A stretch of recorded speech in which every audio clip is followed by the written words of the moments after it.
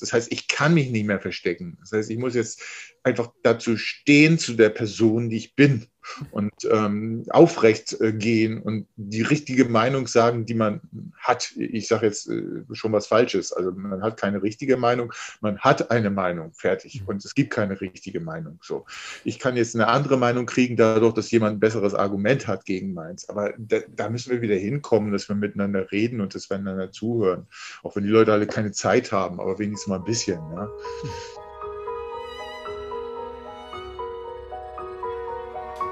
Hallo, liebe Zuschauer. Willkommen bei einer neuen Sendung, wo es wieder um ein spannendes Gespräch geht. Ähm, diesmal mit einem Lehrer. Herr Bornemann, mögen Sie sich mal bitte ganz kurz vorstellen? Ja, guten Tag. Mein Name ist Bormann. Bormann, Entschuldigung. Ja. ja. Ähm, ich bin Lehrer im Technikbereich an einer Schule in Berlin und äh, jetzt hat es mich plötzlich erwischt, dass äh, jemand meint, äh, ich hätte zu viel über Corona äh, geredet, ja. Und in der Zeitung und im Fernsehen trete ich dann plötzlich auf als Corona-Leugner, ohne dazu irgendwie äh, vernünftig Stellung nehmen zu können. Nun gut, also wir wissen ja, wie die Medien damit umgehen. Wenn die einen interviewen, dann schneiden sie einen den Halbsatz raus, der irgendwie noch ein bisschen Futter bietet für eine aufregende Berichterstattung. Und äh, bei mir war das aber so, dass ich jetzt eigentlich krank war und äh, ein Weilchen dann nur mal kurz wieder in der Schule war und mir tatsächlich alle Sachen auf die Füße gefallen sind, die im letzten halben Jahr irgendwie in Verbindung gebracht werden konnten mit Corona. Ja, was weiß ich. Äh, Schüler hatten, ach so, ich sollte mich ja vorstellen. Ne? ja, aber ähm, Genau. Also äh, wie, wie komme ich da überhaupt an die Schule? Ich genau. bin von meiner Ausbildung her Diplom-Ingenieur Elektrotechnik, habe also viel mit Zahlen sowieso zu tun und Strom und Elektrotechnik und sowas. Äh, ähm, mein sehr intensives Hobby ist immer Musik gewesen. Ich spiele sehr gut auch Gitarre und mache ähnliches, hatte auch selbst ein Label und ähnliches. Ich habe 20 Jahre in der Softwareentwicklung bei Siemens gearbeitet, also auch Computerprogramme, Algorithmen, alles, was dazugehört, immer sehr faktisch. Ein Fan von Mr. Murphy, was schief gehen kann, geht auch schief. Das heißt, ich bin sehr pedantisch und gucke dann drauf, dass die Sachen dann auch wirklich äh, Hand und Fuß haben. Und irgendwelche halbgaren Methoden, die da wissenschaftlich angewandt werden, die sehe ich natürlich sofort. Und das sage ich dann auch anderen. Aber ähm, wenn Sie das in der Schule jetzt sagen, dann werden Sie Corona-Leugner. Ne? Das, mhm. Gut, ist halt ein Modebegriff, benutzt man immer dann, wenn man keinen Bock hat zu diskutieren. Und das ist jetzt bei mir dann auch leider so passiert, weil manche Leute mögen einfach nicht über Fakten diskutieren. Das ist denen zu anstrengend. Es ist ja so, ähm, ich gehe jetzt mal davon aus, dass Sie kein äh, Beamter waren, sondern einfach äh, Lehrer in einer Berufsschule oder? Ja, genau. So. Das heißt also, das ist praktisch wie eine Anstellung beim, bei, einer, bei einem privaten Unternehmen. Ist das richtig? Nicht ganz so. Also äh, ich will da auch nicht zu tief reingehen. Also wenn Sie als Berufsschullehrer dann tätig sind, dann äh, und das zehn Jahre lang erfolgreich gemacht haben und entsprechende äh, Bestätigungen von Schülern auch bekommen haben in Form von Feedbacks und sowas. Eigentlich kann Ihnen da gar nichts passieren. Dann gehen Sie hin und dann machen Sie Ihren Job. Und gerade wenn man ihn zehn Jahre gemacht hat, dann sollte man ja wirklich davon ausgehen, dass diese Lehrer dann auch genügend geübt hat, um seinen Unterricht vernünftig zu machen. Und äh, ich habe tatsächlich, ähm, nachdem ich gewechselt bin von der Industrie als Quereinsteiger in die Schule, dann nochmal ein Referendariat gemacht sodass ich also heute tatsächlich zwei akademische Abschlüsse habe, nämlich einmal den Dibble Inc. von der Elektrotechnik an der TU Berlin und zum anderen dann auch noch äh, meinen Referen äh, Referatsabschluss, äh, zweites Staatsexamen äh, als Lehrer dann auch. Ja. Hm. Also. Darf ich vielleicht auch ganz klar mal herausfragen, war Ihnen das nicht bewusst, äh, dass das diese Konsequenz haben konnte? ich habe doch gar nichts falsch gemacht, behaupte ich mal einfach. Also ähm, gut, diese Videos, äh, die haben tatsächlich äh, äh, das fast zum Überlaufen gebracht. Dass jemand da also so seine Meinung frei heraus auf YouTube äußert. Aber ähm, gut, das ist jetzt tatsächlich etwas Neues, was sich auch aus der Situation der, normalen, normal, äh, der neuen Normalität ergibt. Ne? Mhm. Weil wer gestaltet denn die neue Normalität? Die fällt auch nicht vom Himmel und es sagt uns ja auch keiner, wie die aussieht. Das heißt, wir gestalten jetzt also in der Schule selbst äh, unser neues Leben. Ne? Wie gehen wir mit der Maske um? Wie weit äh, müssen wir Abstand halten? Wie fühlen wir uns da wohl? Wie, wie kriegen wir das hin, dass auf den bislang nicht gelüfteten Fluren dann endlich der frische Wind weht? Und äh, all diese Dinge, die müssen besprochen werden, zusätzlich zum normalen Schulalltag und auch irgendwie umgesetzt werden. Manche Leute überziehen es dann natürlich kräftig. Ne? Die, also ist logisch, wenn jemand Angst und Panik hat, dann versucht er das Letzte rauszuholen läuft dann vielleicht mit einem Desinfektionsmittel in der Hand herum und setzt eine FFP3-Maske auf, wenn ich es jetzt mal übertrieben formuliere, was ich ja gerne tue, ne, überspitzen und polemisieren. Aber das ist äh, ja auch ein Mittel ähm, der Didaktik, dieses Polemisieren und Überspitzen, weil den einen oder anderen Lacher mal rauszukitzeln bei den Schülern, das ist eigentlich gut im Unterricht. Ja, das ist meine Meinung dazu. Also ich kann Sie, und da möchte ich vielleicht auch äh, alle ein bisschen zum Schmunzeln bringen, wir haben heute gerade einen neuen Vlog aufgenommen und äh, es ist erwiesenermaßen so, dass ähm, nicht nur beim Niesen Aerosole durch den Raum schießen, sondern auch beim Furzen. Das heißt also, äh, in Zukunft werden wir mit Windel und Gummihose in die Schule gehen müssen und alle Schüler dazu verurteilen müssen, ja, Windeln zu tragen und eine Gummihose. Natürlich ja. auch im Parlament. Das freut mich besonders ähm, weil es einfach zeigt, wie abstrakt das Ganze eigentlich ist. Ne? Ja, also ich, äh, ich kenne das ja alles. Ich bin ja auch ein großer Monty Python-Anhänger und ich lache über jeden noch so dreckigen Witz. Und wenn John Cleese richtig loslegt, dann ist bei mir der Abend gerettet, ja. Aber das ist nicht bei jedem so, verdammt. Und das musste ich eben in der Schule auch ganz deutlich lernen, dass es da eben Leute äh, gibt, haufenweise, die das so richtig ernst nehmen, das Thema, ja, und äh, die, die völlig faktenresistent sind und äh, humorlos auch nicht und die auch nicht auf mein Fachwissen bauen, sondern die mhm. auf Fachwissen bauen, was sie von irgendjemand anderen gehört haben. Ja. Und mich dann tatsächlich einfach deshalb als Corona-Leugner bezeichnen, weil ich eine andere Meinung habe wie sie.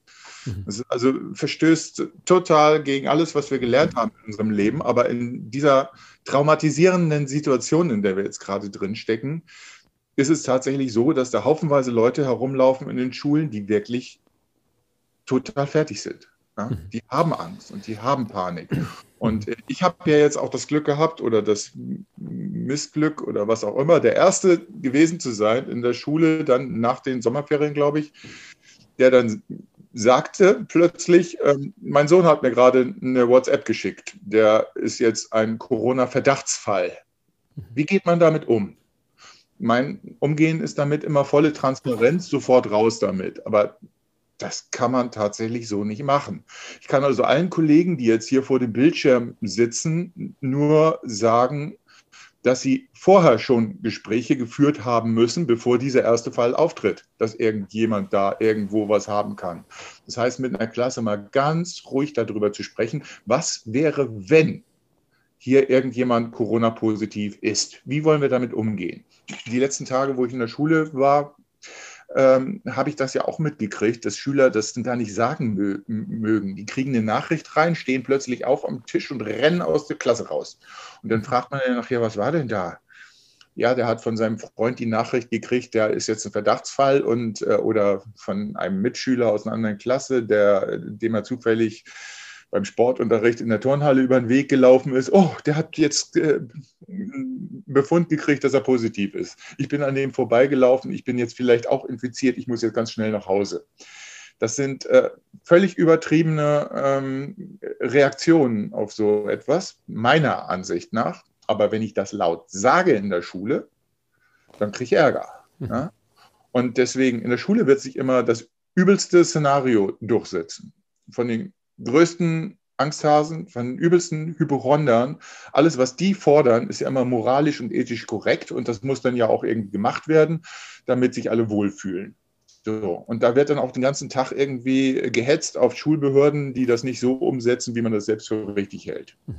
Und äh, ich habe nun tatsächlich aufgrund der Positivität von meinem Sohn, die dann auch später eintrat, natürlich da ganz besondere Erfahrungen dann in der Schule. Wenn Sie als Lehrer in die Schule kommen und da zu Hause vielleicht ein Sohn noch herumsitzt, an dem man sich anstecken könnte, dann führt das dazu, dass selbst ein negativer Test nicht als Beleg dafür gilt, dass Sie negativ sind, weil Sie können sich ja nach dem Test noch wieder angesteckt haben. Ja, also äh, das heißt, diese Skepsis bleibt und die Schüler sagen einem dann auf den Kopf zu, wir erwarten jetzt, dass sie eine Maske aufsetzen. Mhm. Ja? So, also als unsymptomatischen Mensch, der also wirklich nachweislich fast zehn Jahre durchweg gesund war vor der Klasse, der noch nicht mal genießt hat, ja, der irgendwie äh, auch nicht irgendwie sabbelt. Ne? Also es, ich spucke nicht durch den Raum, ich bin weit weg, ich halte viel Abstand. All das ist alles gegeben, mhm. aber sie können dann so viel Vorsicht walten lassen, wie, wie sie wollen. Äh, das ist dann alles egal. Der hat irgendwas gesagt über Corona und ähm, weil er ja so komische Videos macht, deswegen verhält er sich bestimmt auch nicht richtig und ist sowieso ein Corona-Leugner und Batsch. Und dann kriegen sie. Herr, Herr Bohmann, ich möchte auch ein paar Fragen stellen, weil ich denke, es ist wichtig, dass, ähm, dass wir äh, auch ein paar Dinge, die vielleicht auch allgemein ähm, interessant sind, natürlich auch nochmal klären. Also ähm, ich verstehe natürlich auch Ihren Frust, äh, den man jetzt erstmal rauslassen muss. Ich glaube, das ist schon ziemlich ähm, übel, wenn man ja, nach zehn Jahren einfach vielleicht auch einen Job, den man gerne gemacht hat, und ich spüre, dass Sie den gerne gemacht haben mit viel Enthusiasmus, äh, dass der plötzlich weg ist. Ähm, wie fühlt man sich, wenn man äh, doch seinen Job äh, mit, mit Leidenschaft gemacht hat? Und da gehe ich einfach jetzt mal von aus, ähm, wenn dieser Job plötzlich weg ist. Also wie ist diese Gefühlsebene? Ähm, haben Sie noch das Gefühl, Sie leben in einer Demokratie? das ist jetzt eine Frage, da stecken jetzt ein paar Sachen drin, die ich ähm, erklären muss. Also ich bin den Job noch nicht los, weil so schnell geht das mit einer fristlosen Kündigung nicht. Okay. das, was da aufgezählt wurde, das muss ja auch erstmal geklärt werden. Das heißt, ich bin so ein Klärungszustand und ich habe natürlich einen Rechtsanwalt und der reagiert natürlich darauf. Und was dann von den Schulbehörden kommt, das weiß ich auch nicht. Ja, also werden wir sehen, was sich da noch retten lässt. Okay, das zum einen. Auf der anderen Seite extrem spannende Situation. Ja, also insbesondere im Hinblick auf die Meinungsfreiheit. Das hat ja auch verschiedene Aspekte, weil diese Videos, die hat ja auch noch keiner von uns in der Schule gemacht. Das ergibt sich auch aus der Situation. Zum einen aus meinen Unterrichtsthemen, da kommt das schon drin vor, dass ich sowas äh, können muss. Von daher ist das eine schöne Übung für mich. Das andere ist, dass ich äh, natürlich auch äh, genau aus solchen Aspekten wie jeder andere sich mit dem Thema beschäftigt. Ich möchte da nichts verkehrt machen. So, und deswegen habe ich ja auch schon sehr früh drauf geguckt. Und ich habe auch diese schicke Grafik mir immer angeguckt beim RKI. Ne? Also, habe ich mal mitgebracht hier, dieses, kann man das sehen? Dieses mhm. RKI-Dashboard, ne? wo hier da am Anfang des Jahres so die positiven Fälle hatten und jetzt hier hinten am Ende des Jahres bei den vierfachen Testfällen natürlich auch die vierfachen Hoppel haben und immer noch nicht so wirklich wissen, was die da überhaupt testen. Mhm. Nun gut, ähm, das, was ich ja hier zu Hause erlebt habe, ist, dass mein Sohn eben eine schwache Erkältung hatte. In dem Zusammenhang positiv getestet, Mama und Papa negativ getestet, nicht angesteckt, keine Symptome gehabt und äh, also äh, weiß der Teufel, was das war. Ja, gut, aber dieses äh, Geschmacksempfinden war bei ihm auch weg, wird schon die richtige Diagnose gewesen sein. Okay. Ähm, wieder zurück zu der Demokratie. Ähm, die Reaktion der Schulbehörden auf äh, den RBB-Bericht, den muss man wirklich, finde ich, einschätzen als äh, unprofessionell. So, das war jetzt ein Schocker für die, falls Sie sich das jetzt angeguckt haben und der Baumann sagt sowas. Aber ähm, wie kann man aufgrund eines Fernsehberichts über einen Lehrer so aggressiv reagieren? Ja, also ich habe tatsächlich keine Chance gehabt, mich zu diesen Dingen äh, in geordneter Weise zu äußern. Ja? So, da, stattdessen wurde der Schule halt unterstellt, sie hätte alles Mögliche falsch gemacht und, und, und, und, und. Äh, alles aufgrund eines RBB-Berichts. Ne? Und da steckt jetzt tatsächlich eine ganze Menge an ähm, seltsamen Dingen noch drin in diesem Bericht, sowohl von den Personen. Darf ich Sie dann noch mal ganz kurz unterbrechen? Was ist denn genau in diesem RBB-Bericht? Also RBB ist das Berliner Fernsehen, also das Regionalfernsehen. Äh, was ist da genau vorgefallen? Also, ähm, ich habe einen ziemlich kurzen Draht zu denen halt, weil ähm, einige von den Leuten dort ähm, beruflich mit mir zu tun haben, sage ich es mal so kurz. Ja. Also, ähm, die haben also so einen Bericht rausgehauen hier. Ein Corona-Leugner macht Schule. Ja, und ähm, da schön, sieht schön schon, getextet. Da, da, da, sieht man schon irgendwie, die äh, wollen klarstellen, dass äh, jemand, der in seinen Videos auf YouTube Masken als moderne Hakenkreuze bezeichnet, keine Schüler mehr unterrichten darf. Ne? In dem Zusammenhang werde ich dann irgendwie als Rechtsradikaler bezeichnet. Aber ich glaube, das hätte sie ja schon stutzig machen müssen. Ein Rechtsradikaler wird doch nicht die Masken mit Hakenkreuzen ver vergleichen, ne? sondern mit irgendwas anderem. Aber äh, für mich ist es einfach ein Symbol, was man vor sich hinträgt für ein Gehorsam. Ist doch völlig klar. Also ich habe selbst eine Maskenbefreiung und es gibt Situationen, in denen ich trotzdem freiwillig irgendwie mal für ein paar Minuten eine Maske aufsetze. Wenn ich zum Beispiel morgens beim Bäcker reingehe und mir einen Kaffee hole, da will ich keine Diskussion jetzt um diese Maske haben. Und für die zwei Minuten ja, wo ich dann weniger Luft kriege, das ist erträglich, das schaffe ich. Ja, also mache ich das eben kurz. Das ist auch nichts anderes wie einem aus dem Weg gehen dieser Schwierigkeit, die man dann damit hat. Ja, und äh, in der Schule geht das, ging das auch eine Zeit lang. Ne? Also nach den Sommerferien, wir hatten keine Pflicht äh, für äh, Masken tragen in den Klassen. Da bin ich halt mit einer OP-Maske über den Flur, zack, rein in den Klassenraum und dann ging das auch. Und mhm. Ja, also nochmal wieder zurück zu dieser Sache mit der Demokratie. Ähm, der Umgang mit Masken, der ist tatsächlich äh, völlig undemokratisch in jeder Hinsicht, weil demokratisch ist geregelt, dass wir auf Arbeit äh, eine G26-Untersuchung bekommen müssten. Wer kann eine Maske tragen, unter welchen Bedingungen, welche Masken sind zu tragen, wie lange machen die Pause und so weiter und so fort. Das ist alles nicht passiert. Das ist komplette Schlamperei. Und wenn da jemand kommt und sagt, ich hätte irgendwas falsch gemacht, dann ist, steht er doch auf dem Rast, ja, auf dem sumpfigen Untergrund. Der weiß doch gar nicht, was richtig ist. Wie soll der mir sagen, dass ich was falsch gemacht hätte? Also egal, ob das jetzt der Abstand war oder ob es die Maskenart ist oder ob ich zu viel geatmet habe oder zu laut gesprochen oder irgend so ein Blödsinn. Ne? Also da sind wir im Moment in einem Stadium des Chaos was äh, gesetzlich auch überhaupt nicht geregelt ist. Und wenn dann jemand kommt mit irgendwelchen Anschuldigungen, die zu einer fristlosen Kündigung führen sollen oder auch zu einer ordentlichen, ganz egal, kann ich einfach nur sagen, auf welcher Rechtsgrundlage bitteschön passiert das? Ähm, wir reden ja gerade so ein bisschen über Demokratie. Ähm, ich meine, mir ist das schon aufgefallen, ähm, als es um den Jugoslawienkrieg ging, und äh, Gesetze einfach so verbogen worden sind, wie man sie brauchte. Also ich denke da noch an, ähm, äh, an unseren damaligen äh, Verteidigungsminister, äh, wie heißt, hieß er noch, der auch äh, Radsport äh, beim Bund Deutscher Radfahrer dann hinterher versetzt worden ist, um da praktisch weiter Geld zu verdienen. Scharping, genau.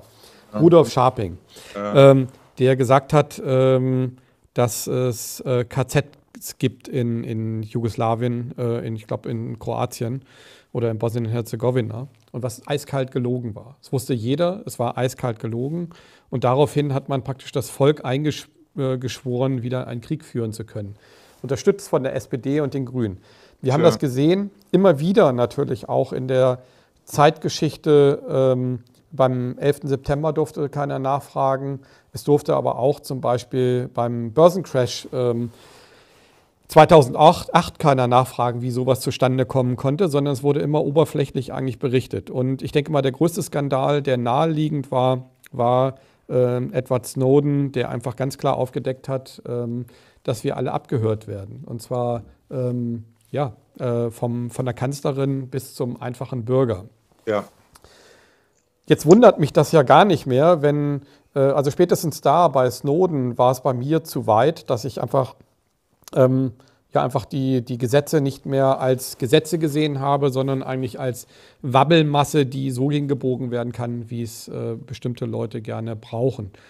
Haben Sie auch das Gefühl? Also ich meine, als Lehrer hat man ja doch irgendwo so einen ganz anderen ähm, soliden Hintergrund. Man ist ja doch auch so ein, so ein, so ein Teil dieses Systems, was ähm, ja. viele junge, junge Menschen ausbildet ja. und äh, sie dann eigentlich dachte ich immer, als kritische, äh, demokratische Bürger, äh, als Selbstständige emanzipierte demokratische Bürger äh, auszubilden.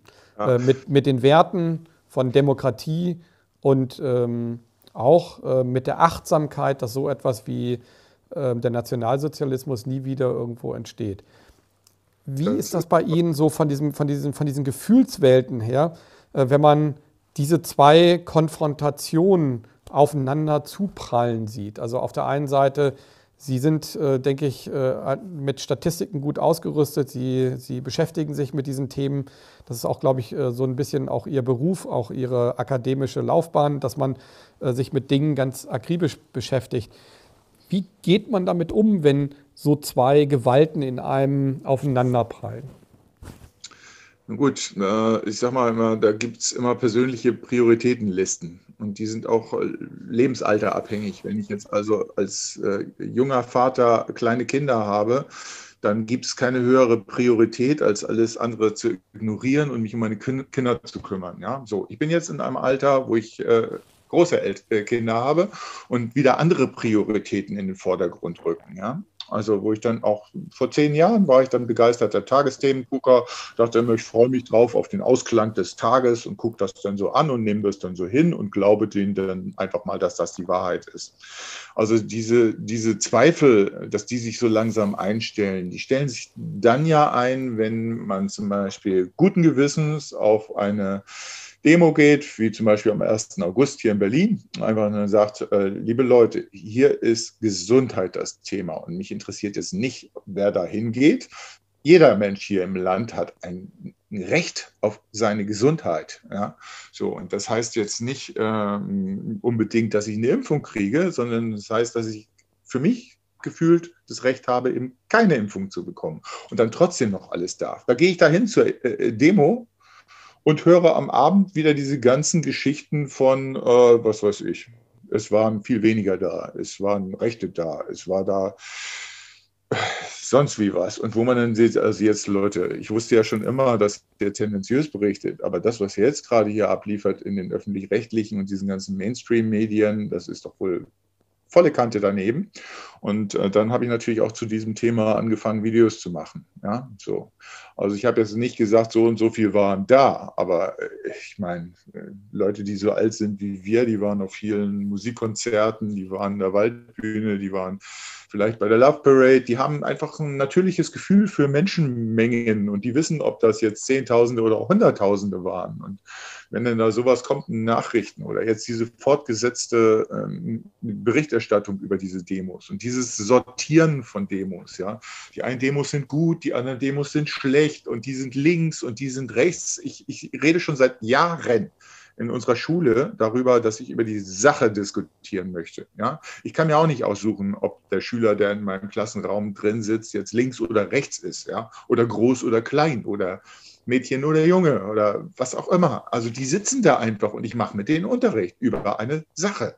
So. Und ähm, diese Medien, die äh, argumentieren im Moment nicht über die Sache, sondern ich habe jetzt gerade vor ein paar Tagen ein Video rausgehauen, zum Thema Grahams Hierarchy of Disagreement. Das ist also die Art und Weise, wie man miteinander diskutiert, wenn man ähm, zu einem Thema verschiedener Meinung ist. Und da kann man anhand dieser Hierarchien locker ablesen, wo sich gerade unsere Mainstream-Medien bewegen, nämlich auf einem der unteren Level. Manchmal bei wildesten Beschimpfungen, ja, so völlig an der Sache vorbei. Da geht es ja nur um die Person. Da wird dann zum Bhakti gesagt, der ist ein Verschwörungstheoretiker. Und meine Schüler geben das eins zu eins so wieder in der Schule. Das, was sie dort hören. Und ähm, das ist einfach eine Art und Weise von Berichterstattung, aber, die. Aber glauben Sie, also ich glaube ja, dass das, ähm, also um Sie da vielleicht ganz kurz äh, oder mal ganz kurz einzuhaken, ich glaube, dass, dass das Ganze, also das Tagesschau-Thema, eigentlich dann eher so ein Thema ist für die Älteren. Ich glaube, dass die Jüngeren äh, ein paar News gucken, die einfach, ähm, und das ist ja in den letzten Jahren auch passiert, die News ähm, sind ja mittlerweile so, dass man, dass man nur noch eine Kurzmessage bekommt. Also man bekommt ein Thema, das nimmt man ernst und ähm, äh, man hinterfragt das gar nicht. Wer also jetzt noch in den sogenannten klassischen, ich sage lieber klassischen Medien, ähm, sich wirklich gut informieren will und Arte guckt und äh, vielleicht auch die klassischen Medien im Schweizer und im österreichischen Fernsehen, der hat zumindest auch eine tendenziöse Möglichkeit, äh, sich auch kritisch zu, äh, ähm, zu informieren. Also wir nehmen nur mal ganz einfach ähm, die Macht der Pharma oder ähm, ähm die ganzen Geldthemen, die bei, bei ähm, Mhm. Äh, bei Arte sehr gut äh, auch, auch dokumentiert sind, wo es wirklich hervorragende Dokumentationen gibt. Und wenn man dann einfach auch genauer hinguckt, auch bei Tagesthemen, sieht man dann zum Beispiel einen Schäuble, der über, über ähm, ja, über, ein, über eine äh, Deutschland GmbH redet und so weiter und so weiter. Also das sind ja alles Themen, die auf der einen Seite ähm, von unseren Politikern und von unseren Redakteuren und so weiter auch kritisch positioniert werden weil sie es dürfen.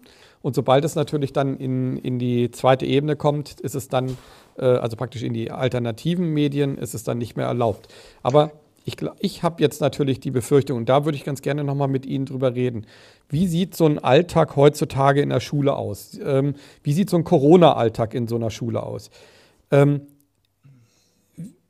haben die Schüler wirklich Angst äh, vor ähm, dieser ähm, sogenannten Epidemie, weil ähm, diese Epidemie ist doch ähm, äh, ja eigentlich jeder, der so ein bisschen offen ist und ein bisschen jung ist, den dürfte das doch eigentlich gar nicht interessieren, oder? Also meine äh, Jungs sind ja auch äh, skeptisch geworden über den Sommer, wo eben draußen viele Jugendliche waren, da war gar nichts los. Sie sind ja auch im Alter, wo man was unternehmen muss und ich war auch ziemlich sauer, wie die Presse dann immer hergezogen hat über die sogenannten Corona-Partys. Die waren sehr verantwortungsvoll und die Abstände stimmten und die waren draußen irgendwo auf dem Rasen und haben ihr Bier getrunken und ja, das war eigentlich alles okay und da hat sich auch keiner angesteckt und da ist auch niemand getestet worden. Und eigentlich dachte ich, die Sache wäre vorbei und gegessen und wir machen nach den Sommerferien wieder normalen Unterricht. Ne? Das wäre auch zu jedem Zeitpunkt möglich gewesen, denke ich, solche Maßnahmen an diesem Punkt zu treffen. Aber das ist natürlich eine politische Einschätzung. Was mache ich da draus aus dieser Situation? Und die, ähm, manche Leute haben eben gesagt, da kommt eine zweite Welle und denen hat man eben geglaubt.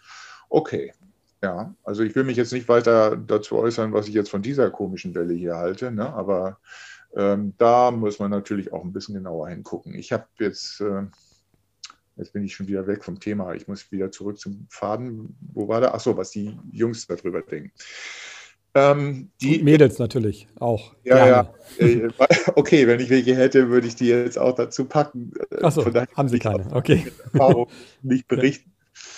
Ähm, meine sind 26 und 23 und äh, also schon im Alter, wo man schon ein paar Partyjahre hinter sich hat und äh, wo man schon auch noch einen Ticken verantwortungsvoller ist und auch noch was anderes sieht als Corona, wenn einem das berichtet wird, wo es vielleicht auch äh, darum geht, in die eigene Partnerschaft und sowas zu investieren. Ich meinte aber Ihre Schüler hauptsächlich. Wie, okay, kommen wir zurück ja. zu den Schülern. Bei den Schülern ist es so, dass ich äh, das Gefühl habe, dass sie natürlich in der Schule äh, einfach äh, artig sein wollen. Ne? Also da, da gibt es einige, die, die das so richtig schön raushängen lassen, indem sie die härtesten Maßnahmen irgendwie umsetzen. Ne? Also die gemeinsten Masken aufsetzen, wo am wenigsten Luft durchkommt und dann eben glauben, mit diesem Verhalten würden sie tatsächlich ernsthaft dazu beitragen, jetzt äh, die Weltbevölkerung zu schützen. Ähm, die glauben das, die machen das dann. Aber das sind ähm, nicht mehr als 30 Prozent. Aber das reicht, wenn Sie, also so, wenn wir so einen Bodensatz hier haben von äh, Schülern, die keine Maßnahmen hinterfragen und sich die Freiheiten auch nicht nehmen, die sie brauchen, um selbst leben zu können, ne? nämlich dahin vegetieren. Das ist ja nichts, mhm. was wir wollen und schon gar nicht jahrelang. Und diese äh, Maßnahmenumsetzung ist ja nichts anderes wie gestohlene Lebensjahre für uns alle. Äh, vor, ja. Darf ich kurz fragen, die 30 Prozent, die alle Maßnahmen unhinterfragt äh, hinnehmen, wie viel sind die, die dagegen rebellieren, also die wirklich ganz offen zeigen, nee, den Scheiß mache ich nicht mit? Das können die sich nicht leisten. Ganz einfach, weil äh, es gibt genügend äh, Kolleginnen und Kollegen von mir, die darauf sofort reagieren, wenn die Mas Maske nur so ein bisschen unter der Nase landet. Ja? Obwohl die, ja, also das ist nicht, ich kann nicht feststellen, dass es in irgendeiner Form toleriert wird. Ne? Also, und auch die Schüler untereinander beobachten sich ja und äh, stellen ihr Verhalten dann gegenseitig in Frage. Und also dieses, ähm, dieses, diese Umgebung in der Schule, das ist ja eine Erziehungsumgebung immer auch zusätzlich zum, zum Bildungsauftrag, den wir da äh, ausfüllen. Ne? Und äh, wie kann jetzt ein Lehrer in dieser Umgebung Vorbild sein? Ne? Also indem er dann ähm, in solchen Momenten dann zum Beispiel äh, zumindest mal sagt, äh, achten Sie bitte auf Ihre Maske. Ne? Aber so. gibt es keine Lehrer, die, die jetzt auch, ähm, wie soll ich sagen, das Gefühl haben, hier läuft irgendwas extrem schief? Weil ich, ich stelle mir einfach nur die, die Frage, gucken wir einfach mal ganz kurz auf die Fakten. Äh, die, ähm, die Fakten sind ganz einfach, die, dieses Jahr war eigentlich mehr oder weniger eine Untersterblichkeit. Äh, jetzt im, äh, im Ende des Jahres wurden die Zahlen nach oben getrieben. Äh, man weiß nicht, ob das, äh, um, die, um die Statistik doch noch irgendwie in eine andere Richtung zu schieben. Aber Fakt ist, bis eigentlich Mitte Oktober oder Anfang November war das überhaupt kein Problem. Ich glaube sogar bis Mitte November. Das heißt also, die letzten zwei Wochen sterben wieder ein paar mehr Menschen, äh, also so circa 400. Wo die herkommen, weiß man nicht. Ähm, aber ähm, bisher war es einfach bis Stand Mitte November, so viel ich weiß, eine Untersterblichkeit in Deutschland. Fakt also, Nummer eins. Fakt Nummer zwei ist, äh, wir haben gesehen, in Schweden geht es auch ohne die Maßnahmen.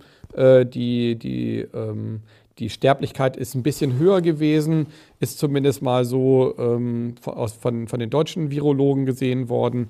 Ähm, äh, Fakt Nummer zwei. Und so reiht sich eigentlich eine Manipulation neben die nächste. Und das, was mich am meisten aufschrecken ließ als, als Journalist, ist, dass ich mir gesagt habe, Moment mal, wenn wir nicht die extremen Befürworter und die extremen äh, Kritiker äh, in, ein, äh, in eine Diskussion bringen, dann haben wir nicht die gesamte Bandbreite der Diskussion. Das heißt also, dann haben wir nicht sozusagen in einem der wichtigsten Momente des deutschen äh, Volkes, nämlich wo, wo eine ganze Gesellschaft sozusagen in einen Shutdown ge, äh, geschossen wird, haben wir sozusagen eine tendenziöse ähm, ähm, äh, Entscheidung.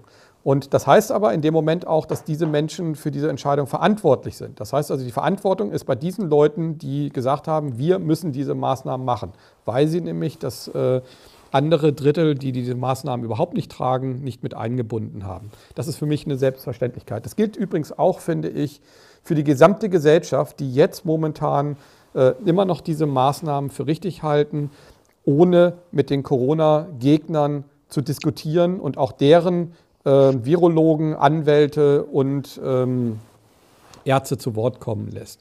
Genau. So. Und das also, ist das große Problem. Ähm, jetzt äh, vielleicht zu meiner Frage. Wenn, wenn jetzt diese Lehrer, die jetzt diese Schüler unterrichten, äh, sich da keine Gedanken drüber machen. Glauben Sie, dass die sich da über diesen Fakt schon mal Gedanken gemacht haben, dass sie hier jetzt im Moment, wenn das so ist, wie wir es denken, wie unsere Sichtweise ist, dass diese Lehrer ähm, ja eigentlich wie im Nationalsozialismus einen, einen vielfachen äh, Tod mitverschuldet haben, der über Sozid, über äh, abbrechende ähm, Verpflegungsketten, äh, ähm, ähm, äh, Produktionsketten in Indien, Pakistan, äh, Bangladesch und so weiter. Also ist das denen bewusst? Das ist genau die kognitive Dissonanz, sage ich mal, die mich fertig macht. Ja, also in diesem Bewusstsein eben zu sein, wenn du das Spiel mitspielst, dann wirst du den Rest deines Lebens ein scheiß schlechtes Gewissen haben. Und das ist genau der Punkt, an dem ich dann sage, mit den Fakten auf den Tisch, bitte. Ich möchte darüber reden. Ich möchte die Debatte führen. Und dann sehen, sieht man die, die Gegenreaktion. Ne? Ausgrenzung, Corona-Leugner, wir wollen diese Debatte nicht führen. Ne? Und äh, die Debatte wird unter den Tisch gekehrt, völlig klar. Und zwar als rechtsdifamiert, was auch immer. Also Leute, die mich lange kennen, die wissen, dass ich eher die Grünen gewählt habe als mhm. irgendwas anderes, aber das ist jetzt vorbei. Ne? Also mit dieser Show, die die da abgezogen haben, da können sie mich auch nicht mehr mit neuen Fahrradwegen beeindrucken, die ich auch sehr gerne mag. Ne? Also ich, äh, Dito, also bis, zwei, äh, bis 1999 habe ich die Grünen auch gewählt. Ähm, danach äh, waren sie, habe ich äh, nach dem, nach dem sie kriegerisch äh, in, als pazifistische Partei in Krieg geführt haben, habe ich sie nie wieder auch nur ähm, mit dem Hintern angeguckt, weil ähm, das ist etwas, was, ähm, wenn man zu seinem Wort steht, und da ist für mich die, der Pazifismus das Wichtigste gewesen bei den Grünen, äh, da muss man auch dazu stehen. Dann kann man dieser Partei nicht glauben. Den SPD, der SPD habe ich dann wegen anderen Dingen nicht mehr geglaubt, aber ja. Ähm, ich möchte trotzdem noch mal so ein bisschen äh, darauf hinauskommen. Ähm, ist den Leuten klar, dass sie für vielfachen Mord im Moment ähm, einstehen müssen, wenn das ganze Thema hier durch sein wird? Sie wollen das nicht hören, behaupte ich. Sie wollen das wirklich nicht hören. Weil das ist ja auch genau die Kritik, die mir entgegenschlägt. Jetzt macht man nicht so eine Welle, wird schon irgendwann vorbei sein. Äh, äh, die kümmern sich schon, wird alles gut. Demnächst kommt die Impfung, ist alles wunderbar. Äh, ist doch eine Killer-Seuche. Also, wenn man solchen Narrativen glaubt oder sie glaubt, mit umsetzen zu müssen, damit unsere Welt besser wird mit der Agenda 2030, ja, dann dann zieht man das Ding einfach durch. Da gibt es einfach so Leute, die glauben, dass genau das Wörtchen Solidarität genau dieses bedeutet. An diesem Programm gemeinsam zu arbeiten und das durchzuziehen. Und ich habe jetzt gerade heute ähm, mal wieder reingeguckt beim World Economic Forum. Da ging es um Building a Cohesive World und der ähm, Kanzler Kurz aus Österreich war da und hat da Auskunft gegeben und dann waren andere da, die fleißig über die Impfung fabulierten und dass es äh, ja überhaupt kein Problem wäre und so weiter und so fort. Und die Gesamtzuschauerzahl befand sich um die 80. Und dachte ich, wie kann denn das sein? Also jeder, der Livestream mit 80 äh, Leuten, die da zugucken beim World Economic Forum, das muss man sich mal vorstellen. Das ist verdammt wenig. Also ich ja. finde, dass, dass das ein guter Tipp wäre jetzt von mir, oder ich gebe jetzt einfach mal den Tipp. Leute, wenn ihr bei YouTube seid, dann guckt mal nach dem YouTube-Kanal des World Economic Forums. Abonniert den und setzt den auf sofort liefern mit der Glocke. Dann seid ihr in jedem Livestream dabei und dann könnt ihr euch angucken, was diese Leute da im Moment planen und was sie da gerade machen. Und wer von unseren äh, Staatseliten äh, gerade dort anwesend ist und Versprechen abgibt. Heute, wie gesagt, war das gerade der Sebastian Kurz aus Österreich, der da war. Und äh, der Beitrag hieß Building a Cohesive World. Und ähm, das kann sich jeder angucken. Diese ganzen Dinge sind live, hat nicht die Bohne was von Verschwörungstheorien zu tun. Das sind die Pläne, die gerade ausgerollt werden und die man machen möchte. Und da spielt auch die Impfung eine Rolle. Und die freuen sich schon, dass das alles so gut klappt und die machen auch die Pläne. Und Leute, die jetzt äh, also lange dieser Linie treu gewesen sind. Die UNO macht das für uns und die WHO ist toll und äh, wir entsenden dort unsere Leute und die NGOs machen einen tollen Job. Leute, die das glauben, die ziehen jetzt auch mit an diesem Seil. Ne? Anders kann ich es mir auch nicht erklären, dass die Antifa äh, immer auf der anderen Seite ist jetzt bei den Demos. Ne? Wenn man diese Art von Politik sieht, die ich ja durchaus schon gelabelt habe mit, das halte ich für faschistoid, ähm, dann müsste eigentlich die Antifa ganz vorne mit dran sein und sagen, sorry, also warum demonstrieren wir nicht eigentlich mit allen anderen mit, die da sind? Ja, die Antifa ist natürlich nochmal ein anderes Thema. Ich glaube ja, dass die wollen, dass die Gesellschaft in eine Anarchie verfällt, in eine Art Bürgerkrieg, um dann ihr System, ihre, ihre Ideologie durchzusetzen. Und wir haben ja schon oft gesehen in der Geschichte, dass das dann total nach hinten losgeht. Äh, ich denke da nur an, an den Kommunismus äh, in der Sowjetunion oder den Kommunismus unter Mao Zedong in China oder, oder, oder. Also jede Ideologie, die einfach ähm, dann so brachial durchgesetzt worden ist mit Gewalt und mit Brutalität, die hat einfach immer böse geendet. Ähm, ja. Wir, und da möchte ich vielleicht jetzt auch nochmal mit, mit Ihnen drüber reden, ähm, also ich stehe ja mit, mit der Ignorance Meditation oder auch die, das Querdenken eigentlich äh, für demokratische Werte, aber für echte demokratische Werte. Das heißt also eine Gesellschaft, die immer und jederzeit auch an der Demokratie mit beteiligt ist. Und zwar nicht nur über Eliten, nicht nur über Aushängeschilder wie die Politiker und, oder die Politdarsteller, wie das ja manche auch immer so schön sagen, sondern über eine direkte Demokratie, besser noch, also ich stehe mehr eigentlich auch noch für ein Bürgerparlament. Wofür stehen Sie als Lehrer? Tja, also ich habe da tatsächlich in dieser Situation, in der wir stehen, jetzt äh, als größten Wunsch erstmal, dass wir offen miteinander reden können. Mhm. Ja, ich habe es selbst erlebt als äh, junger Mensch. Mein Vater war im Gemeinderat des Dorfes, in dem ich aufgewachsen bin.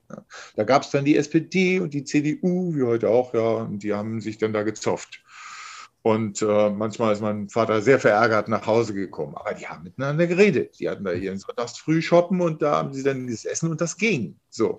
Also ich brauche mir eigentlich aus meiner Sicht keine äh, Riesenveränderungen vorstellen an dem, was wir eigentlich als Grundgesetz hier haben, weil das eine gute Grundlage ist, wirklich, äh, wenn man das ernst nimmt, was da drin steht, um miteinander zu reden weil da hm. steht an erster Stelle die Menschenwürde. Und wenn ich dann weiß, da ist einer, der hat nicht meine Meinung, ja, was weiß ich, einer von der AfD möchte eine völkische Gemeinschaft gründen oder so, dann kann ja sagen, na Gott, das kann ja heiter werden, wenn ich mich jetzt mit ihm unterhalte. Ich habe kein Problem damit, mich mit allen an einen Tisch zu setzen. Auch mit diesen Leuten nicht. Ne? Und diese Ausgrenzung, die jetzt durch die Medien passiert, mit denen rede ich nicht. Das geht überhaupt nicht. Ein, ein, ein, ein Bundespräsident, der muss für die Gesamtbevölkerung stehen. Und der muss auch äh, die AfD als seine Schäfchen sehen und sich um die kümmern. Und da kann er nicht sagen, die sind rechts, mit denen rede ich nicht. Ja, was ist er denn dann, wenn er so ausgrenzt? Bitte schön. Ja. Aber das ist ja auch ein bisschen die Politik Merkel. Ne? Ich denke, äh, 16 Jahre Merkel bedeutet auch 16 Jahre Aussitzen von Problemen, Aussitzen von äh, Diskussionen. Also Frau Merkel ist ja jemand, der nur mit den Menschen redet, der äh, oder mit den Menschen redet, die auf ihrer äh, Linie sind. Sie redet ja praktisch nicht mit den Gegnern. Ähm, es gab ja noch nie in der Geschichte der Deutschen, also es gab ja auch ähm, ähm, vor der AfD gab es äh, ja auch äh, rechtstendenziöse Parteien. Mhm. Ähm, man hat äh, da natürlich schon auch immer drauf geschossen, aber so wie jetzt heute nach links und rechts geschossen wird ähm, und auch Gespräche verweigert werden, um. Macht zu erhalten, das ist ja typische Merkel-Politik. Also, also, wenn ich jetzt einfach in den besten Zeiten der 70er, 80er und 90er gucke, wie da sich im Parlament und auch unter den Parteien ähm, noch gefetzt worden ist, dann ist da ja nichts ja. mehr von übrig geblieben. Also wir haben ja praktisch eine äh, Konsenspolitik, ähm, genau. wo, aus, wo sozusagen ähm, Leute, die ähm, nicht derselben Meinung sind, äh, ausgegrenzt werden. Also ein leuchtendes Beispiel, ähm, äh, dass es doch noch so Leuchttürme gibt, das ist ein Willy Wimmer, äh, bei der ähm, ja immer noch CD, ein CDU-Buch hat. Ähm, es gibt noch diese wenigen, die natürlich offen reden, aber leider viel zu wenige. Ne? Das muss man ganz klar sagen. Ähm, Komme ich vielleicht nochmal zu, zu einer weiteren Frage.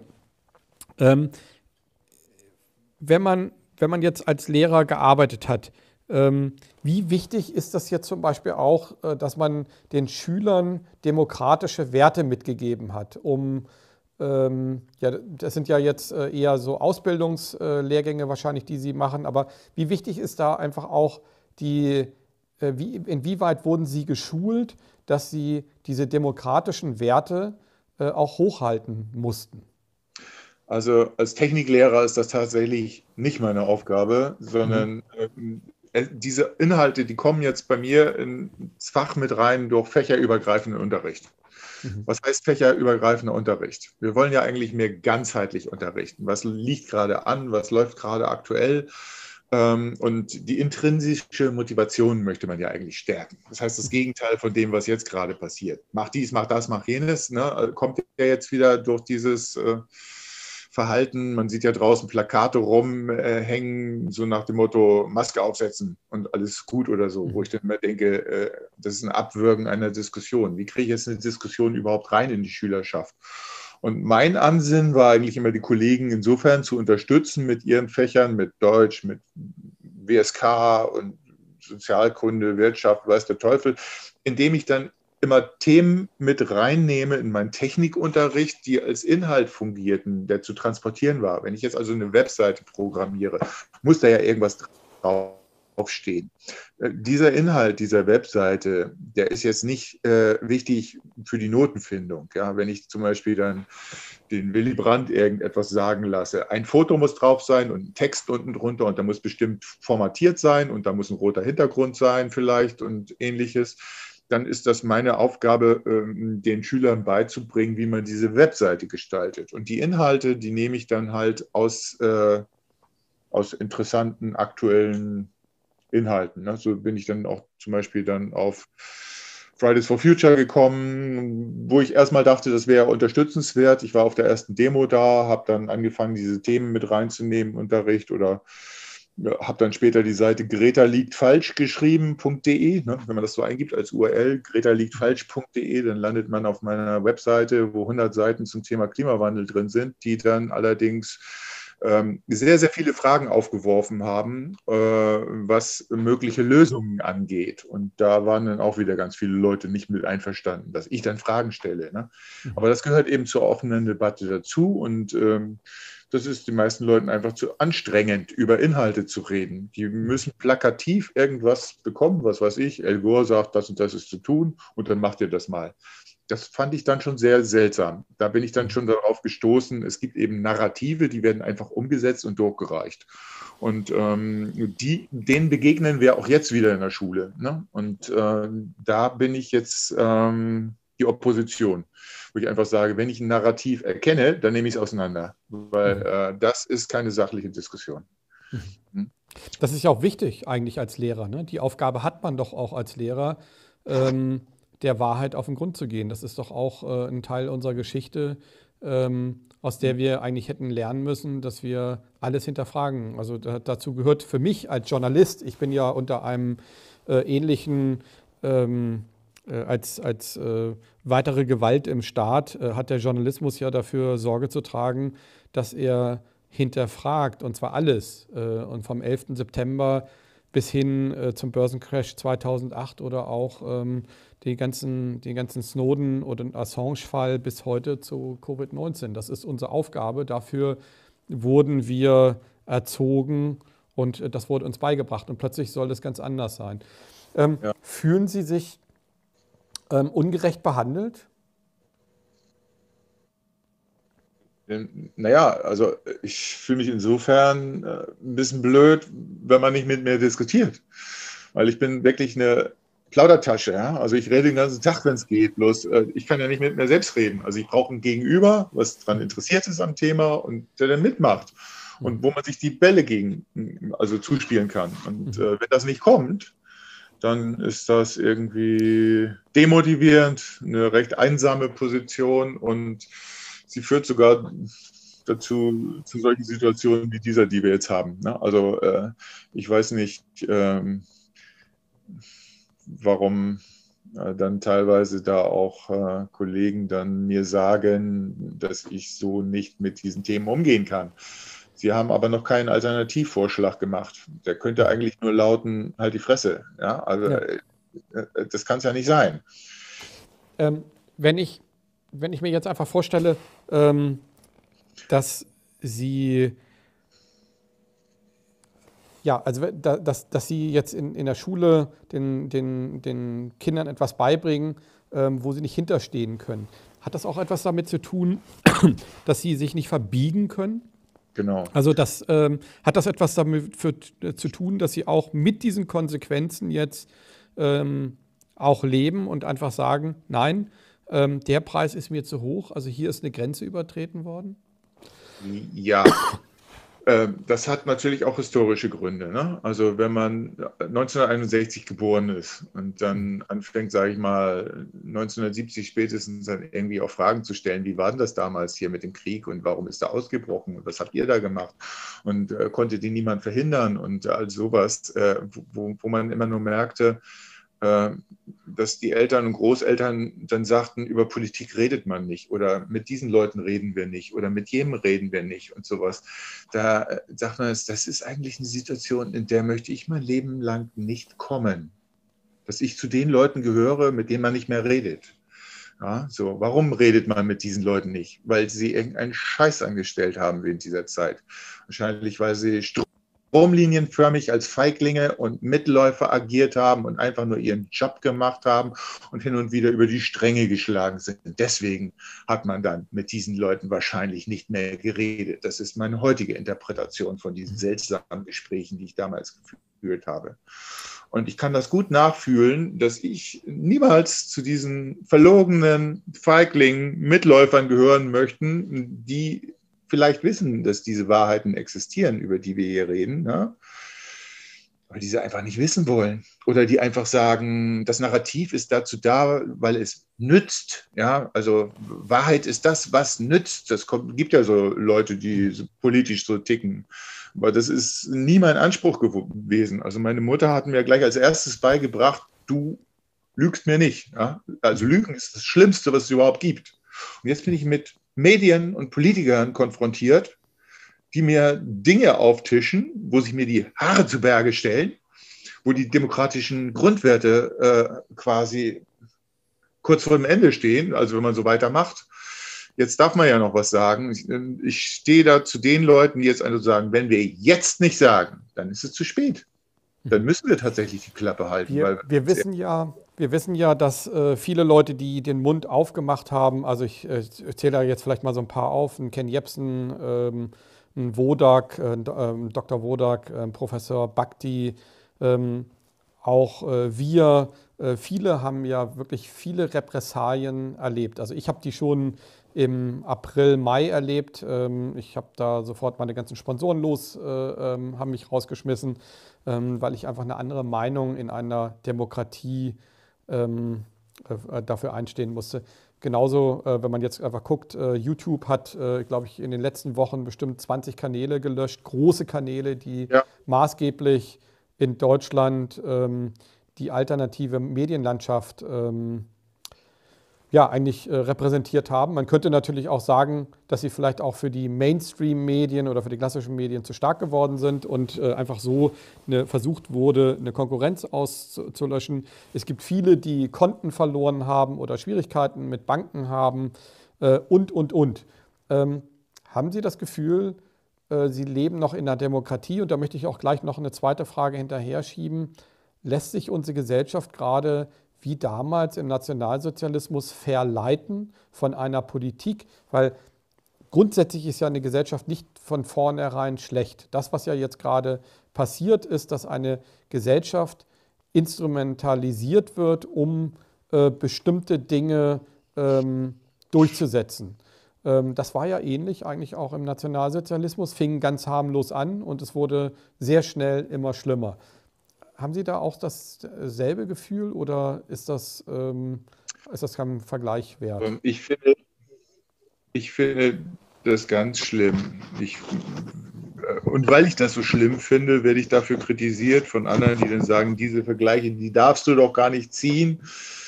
Für mich ist das, was gerade läuft, eines der schlimmsten Menschheitsverbrechen überhaupt, weil diese äh, ganzen Konsequenzen, die spüren wir nicht nur im eigenen Land ja, wenn in Entwicklungsländern jetzt plötzlich dann äh, fünf Millionen Kinder nicht an Tuberkulose geimpft werden, weil da gar keiner mehr hinkommt, weil da gar keiner mehr hilft oder irgendwas. Das hat doch alles Schäden und diese, die, ja, man kann doch nicht sagen, diese Kollateralschäden, die wir da jetzt gerade hinnehmen, die existieren nicht. Aber in der Medienberichterstattung existieren die nicht. Ja, da wird dann Kommt so getan. praktisch nicht vor. Ja, das sehe ich auch so. Und was da in Indien abgeht, was da in Afrika äh, abgeht, das wird im Moment schön geredet. Da wird anhand von einzelnen Beispielen irgendwo dann gesagt, guck doch, das funktioniert doch wunderbar. Ne? Also äh, da, da sind wir wirklich auf die alternativen Medien angewiesen, dass da Leute vor Ort sind, die dann einfach mal auch was anderes erzählen, um es mal so zu formulieren. Das Schöne an den alternativen Medien ist ja tatsächlich, dass äh, wir tatsächlich nicht unter diesem Erfolgsdruck stehen manchmal wie die etablierten Kanäle. Das heißt, wir können uns mehr Zeit nehmen, wir können äh, einfach mal irgendwie eine Meinung sagen, können sagen, Leute, ich habe das und das gehört, ist das wahr, recherchiert doch mal. Ähm, das heißt, äh, ich habe in einem meiner ersten Videos auch irgendwann gesagt, wir sind die neue Normalität. Wir sind jetzt die, die rausgehen auf YouTube, unsere Meinung sagen und sagen, Leute, wenn ihr eine andere Meinung habt, schreibt mal in den Kommentar unten rein dann äh, gucken wir mal, wie es weitergeht. Und ich bin auch schon drüber dafür tatsächlich gelobt worden, dass in meinen Kommentaren immer so nette Sachen drinstehen, dass man sich da eben normalerweise nicht schlägt und haut und sonst für was jetzt. Also nach dieser Berichterstattung äh, in den Medien sah das mal ein paar Tage anders aus. Da habe ich viele Daumen nach unten gekriegt. Ja, was erwartet man denn auch, wenn man gleich als bösartigster Krimineller der Welt dargestellt wird, so in etwa? Warum übertreibe ich das wieder so? Naja, wir haben Rückmeldungen aus USA gekriegt, aus der Türkei, was ist denn da los? Ne? Also meine Familie ist hier fertig gemacht worden vom ganzen Bekanntenkreis. Der Nachbar äh, äh, zischelt dann, Familie, Corona-Leugner. Ne? Und meine Frau hat das total fertig gemacht. Ne? Mhm. Und äh, gut, also äh, müssen wir irgendwie mit klarkommen. Ja. Also, also ist es schon so, dass die Repressalien schon auch sehr extrem bei Ihnen sind? Ja, klar. Mhm. mhm. Das heißt also, in einer Demokratie, äh, die da diesen Anspruch auch für sich beansprucht, weil sie ja auch nach Belarus guckt und sagt, da ist eine Autokratie, da ist ein diktatorisches System, ähm, geht eigentlich in dieselben Fußstapfen. Also das ist äh, eine Dynamik hier in der Bevölkerung, die einfach ungut ist. Und zwar maßgeblich gesteuert über falsche Auskünfte in den Massenmedien. Ja, also wenn die immer noch über Infektionszahlen sprechen, statt über positive PCR-Tests, ist das eine Katastrophe. Mhm. Also ich habe jetzt gerade äh, vor einem Tag ein Video gemacht, das hieß Danke, Herr Schupelius, weil das ist der Kommentator der BZ hier in Berlin. Der hat sich mal rausgetraut, einfach mal ein paar Fragen zu stellen. Wo sind denn hier in Berlin unsere Corona-Kranken? In welchen Krankenhäusern liegen die? Wie alt sind die? Welche Krankheiten haben die sonst noch? Äh, ja, und so weiter und so fort.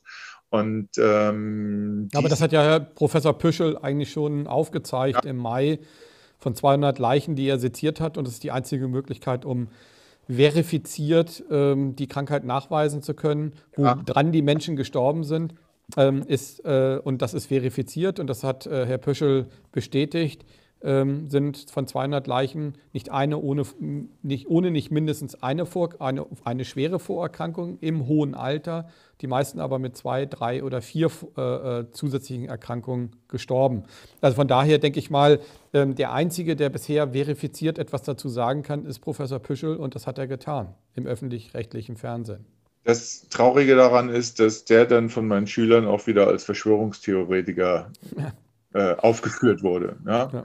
Also ich sage auch natürlich, also äh, äh das, was ich auch als Lehrer weiß, ist, äh, es reicht nicht, das einmal zu sagen. Es reicht auch nicht, dass es eine Person sagt. Und da müssen viel mehr rauskommen und täglich danach fragen, wo sind denn die Berichte aus der Pathologie? Ich möchte, dass wirklich jeder notierte Covid-19-Tote äh, wirklich durch die Pathologie geschoben wurde. Da mal einer drauf geguckt hat, ob der irgendwas mit Covid-19 hatte oder ob der nur einen positiven PCR-Test hatte. Das ist doch ein riesengroßer Unterschied. Deswegen habe ich auch mal ein Video gemacht, da, da habe ich auch mal wieder ein bisschen überspitzt. Da hieß es dann mit oder an Fliegenschiss gestorben. Ja, ich kann mit Fliegenschiss sterben, indem eine Fliege mich bescheißt. Ja, ich kann aber auch an Fliegenschiss sterben, wenn ich mir das in eine Spritze reinziehe und da mir das in die Ader rein äh, äh, ähm, injiziere und eine Blutvergiftung davon bekomme. Und das ist ein riesengroßer Unterschied. Und okay. genau diese beiden Zahlen, die werden nach wie vor vermischt miteinander in einer Statistik. Und diese ganze Statistik, die ist sowieso nicht besonders aufregend, wenn man es mal in absoluten Zahlen sich anguckt. Dann ist Covid-19 immer noch eine äußerst seltene Krankheit, ja, mit vielen anderen äh, seltenen Krankheiten zusammen. Das ist per Definition so nach medizinischen Kriterien. Und, ähm, Aber es ist ein ja. gutes Geschäft. Ja, also es, es wird das größte Geschäft, was es wahrscheinlich für die Pharmaindustrie jemals äh, auf dieser Welt gab. Ähm, reden wir vielleicht mal äh, ganz kurz ähm, über Ihre persönliche Befindung. Also ähm, Sie wirken schon auch ein bisschen wütend auf diese ganze Situation, auch ähm, dass man sie so in eine Ecke schiebt und als Demokrat nicht ernst nimmt, also als kritischer Bürger nicht ernst nimmt. Das gilt, geht ja seit Monaten oder jetzt seit, äh, ja, vielleicht sogar bei, bei äh, wenn man jetzt äh, Richtung Pegida guckt, seit Jahren vielen Menschen so, dass sie nicht gehört werden. Also sie werden von ihrer Politik nicht gehört. Ähm, ich bin alles andere als, äh, als, als ich habe überhaupt keine Rechtstendenz äh, von meiner politischen Ausrichtung. Und trotzdem kann ich es verstehen, dass die Bürger zum Beispiel in der DDR ähm, sehr wütend sind. Ähm, ich möchte noch ein bisschen mehr verstehen, ähm, was, was in ihnen vorgeht. Ähm, ich, ich, Sie haben ja auch selber gesagt, Sie sind Grüner, Sie haben Grüne, die Grünen immer gewählt. Warum sind Sie plötzlich so wütend? Also was, was ist, was passiert da in Ihnen? Hm. Also das entscheidende äh, Klicken ist beim Thema Digitalisierung äh, aufgetreten, wo ich dann plötzlich merkte, die Grünen, ja, sind jetzt plötzlich begeisterte Digitalisierer, weil sie irgendwo grüne Haustürschilder dran pappen wollen, weil sich jemand grüner äh, benimmt als sein Nachbar. Und dann ein, also die Grünen sind eigentlich ein Befürworter des Social Scorings. Ne? So, die CDU dachte ich dann immer, die stellen als erstes die Überwachungskameras auf, aber die Grünen werden sie benutzen. Und zwar zu Zwecken, wo ich denke, nee, für, für diese Zwecke wollte ich sie nicht haben. Das heißt, es ist quasi, äh, hier in Berlin haben wir am Südkreuz schon Versuche gehabt, wenn ich das richtig ähm, gehört habe, mit Gesichtserkennung. Kann ich da Leute äh, ähm, erkennen anhand ihres Gesichts. So. In Zukunft braucht man ja bloß noch gucken, wenn ich ein Gesicht erkenne, dann hat er keine Maske auf, dann kriegt er gleich 20 Minuspunkte. So. Dann kriegt er vielleicht als nächstes keine Wohnung mehr im, im neuen Sozialbau, der auf dem Tempelhofer Feld stattfindet oder sowas. Also all dieser ganze Quatsch ist plötzlich denkbar. Und jetzt kann man sagen, ist das ein guter Plan oder ist es ein schlechter Plan? Dass man den einfach umsetzt, ohne jetzt äh, die Bevölkerung zu fragen, halte ich für ein Unding. Und äh, die Art und Weise, wie das bislang diskutiert wurde, ist schlecht. Weil die wirklich kritischen Geister, die sagen, ja, das haben, das haben wir ja schon 20 Jahre diskutiert. Das müsste euch ja klar sein, dass das jetzt kommt. Aber naja, machen wir mal das Beste draus. Die sind, die sind halt auch irgendwie so abgegessen. Ne? Mhm. Und wenn dann der jetzt einer kommt und sagt, was, das geht jetzt wirklich los? Nein, das will ich doch gar nicht keine Chance. Ne? Also naja, es gibt natürlich auch viele Kritiker, die jetzt sagen würden, ähm, wir verweigern, also diejenigen, die jetzt auf die Straße gehen, verweigern sich der digitalen Normalität. Und äh, viele Bürger empfinden ja dieses digitale Zeitalter auch als ein sehr spannendes und äh, eins mit sehr vielen Möglichkeiten. Das Auto fährt plötzlich alleine, äh, man hat äh, Fahrassistenten, es wird sicherer, das Leben. Ja. Ähm, man kann den ganzen Abend Netflix äh, gucken. Ähm, und, und, und. Also es gibt ja viele Dinge, man kann mit Alexa reden und äh, ja, man kann Cybersex führen und so weiter und so weiter. Also es gibt ja viele Dinge, die mittlerweile ähm, viele Gesellschaften oder viele Gesellschaftsanteile auch ähm, in diesem Sicherheitsbequem-Modus auf der Couch ähm, ein, ein artgerechtes, äh, für sie artgerechtes Leben herbeizaubern. Hm. Ja, da sind ja bei mir ja auch an der richtigen Stelle so als Techniker. Wie wird man denn Techniker? Ja, also so Ingenieur, Elektrotechnik, äh, weil ich wollte halt wissen, wie das Radio funktioniert damals, wie Mischpult funktioniert, wie die E-Gitarre funktioniert. Ich wollte eine laute PA vielleicht selbst bauen, ja. Ich wollte Rock und äh, so kommt man dann eben dazu. Und ähm, dann, als ich fertig war mit dem Studium, da war es plötzlich interessant, Musik zu machen wie Depeche Mode. Und da habe ich dann einen Computer genommen, um meine Musik zu machen. Weil die unzuverlässigen äh, Mitmusiker in der Band, wenn die nicht kamen, dann war der Abend quasi scheiße. Und mit meinem Computer habe ich diese negativen Erfahrungen nicht. Der kann dann eben sofort befriedigen mit dem richtigen Ton. Ja? Ein so, Nerd der ersten Stunde. Ja, ich habe alles mitgemacht. Ne? Alles, was da neu kam, das hat immer Spaß gemacht. Und Raumschiff Enterprise damals zu gucken und zu sagen, mein Gott, ich will auch ein Zimmer haben, in dem so viele Lampen blinken und ich möchte verstehen, was hinter all diesen Knöpfen ist und draufdrücken und so. Also diese Technikbegeisterung habe ich ganz klar. Aber das, was wir jetzt im Moment hier damit machen mit der Technik, das ist ja... Äh, Gesellschaftspolitik. Und ähm, da, also das ist nicht niemals Ziel gewesen. Also, dass ich jetzt, wenn ich von nach Hause komme, angenommen, ich habe irgendwo da draußen im Busch ein Haus und äh, fahre da mit dem Auto hin und ich äh, bin dann äh, zehn Kilometer von zu Hause entfernt, dann geht vielleicht schon mal die Heizung an und äh, wenn ich dann fünf Kilometer von zu Hause bin, geht vielleicht schon mal die Kaffeemaschine an. Und wenn ich dann zwei Kilometer von zu Hause bin, dann öffnet sich langsam das Tor. Und dann äh, kann ich da einfach reinfahren in die Garage und hinter mir schließt sich das Tor. Und äh, solche Annehmlichkeiten, das bringt doch Spaß, an sowas zu basteln und, und, solche Lösungen umzusetzen. Ich will jetzt nicht sagen, dass man das unbedingt braucht, aber das sind jetzt äh, einfach so Dinge äh, gewesen, wo ich dann gesagt habe, allein das zu verstehen, wie es funktioniert und das Kabel an die richtige Stelle zu legen und dann die, richtigen Teile auszusuchen, die man dafür braucht, hat mich immer fasziniert. Deswegen bin ich auch 20 Jahre in der Entwicklungsabteilung dann bei Siemens gewesen und habe da Services für die Telekommunikationsindustrie zum Beispiel geschrieben. Da habe ich ein bisschen an den Prepaid-Services mitgeschraubt oder davor an Patenterfassungssystemen, die man einfach einscannt und die dann plötzlich auf CD-ROMs vorliegen oder auf DVDs und also die, diese ganze Technik, die kenne ich ja in- und auswendig und äh, von daher kann ich auch ganz gut einschätzen, was jetzt mit der künstlichen Intelligenz da an weiteren Möglichkeiten auf uns zukommt. Und ähm, diese ganzen Anwendungsfälle, die werden inzwischen nicht mehr von Technikern ausgedacht, sondern von Politikern. Und äh, huh, da gruselt es einem dann ja wirklich schon ein bisschen, wenn man dann plötzlich merkt, oh Gott, die wollen jetzt von jedem Facebook-Nutzer das psychische Profil erstmal ermitteln. Und dann hat man herausgefunden, 50 äh, Likes irgendwo an der geeigneten Stelle gesetzt, gesetzt und man weiß schon, welche Urlaubsreise man dem als nächstes verkaufen kann und ähnliches. Ne? Also wir sind so transparent und durchschaubar geworden wie noch nie.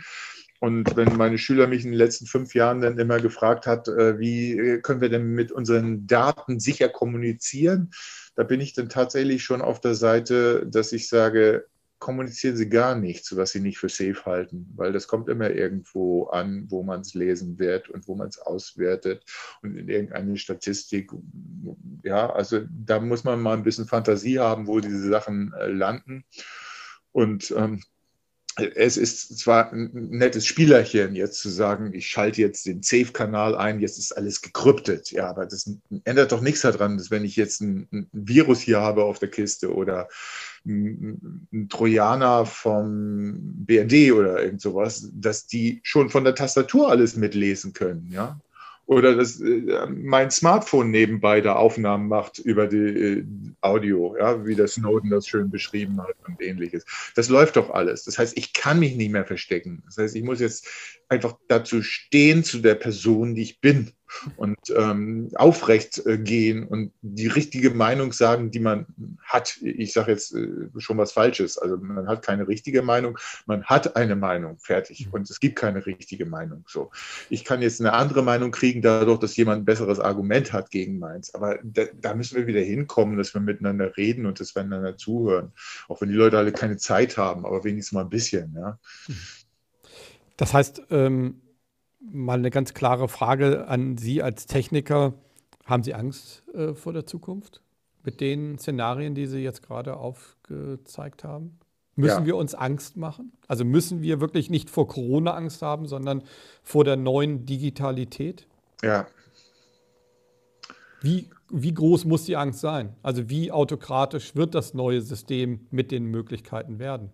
Das, was das World Economic Forum da gerade macht, ähm, halte ich für hochproblematisch, weil es ja jede Demokratie vermissen lässt. Die bestellen da einfach die Staatschefs ein und äh, die tausend größten Unternehmen der Welt machen ihre Pläne, das ist der Rollout und das wird dann halt einfach gemacht. Und ähm, ich meine, hier bei TTIP sind die Leute noch auf die Welt, äh, auf die Straße gegangen, weil sie gesagt haben, diese Form von Globalisierung wollen wir nicht.